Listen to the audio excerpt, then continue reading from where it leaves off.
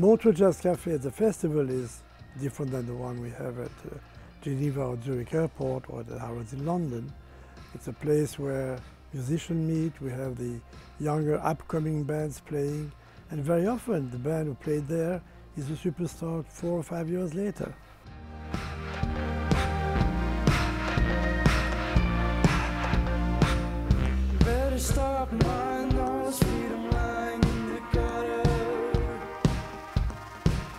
It's.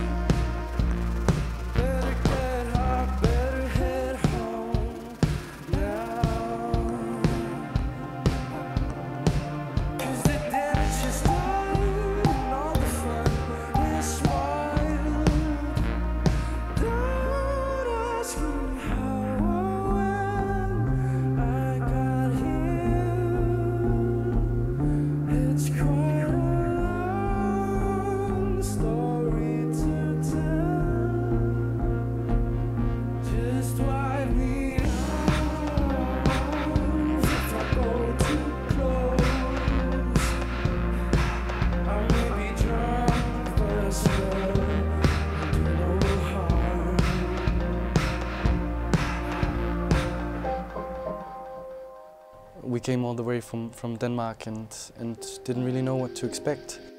They were just in, incredibly open, it seemed.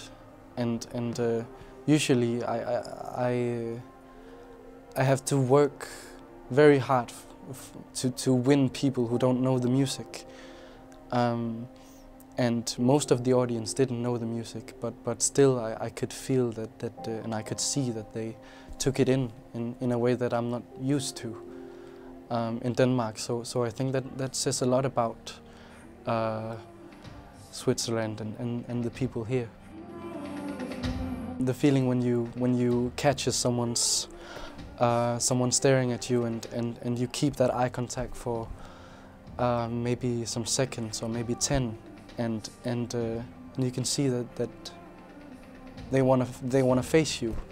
Um, that's that's a quite big thing and I experienced that many times tonight. So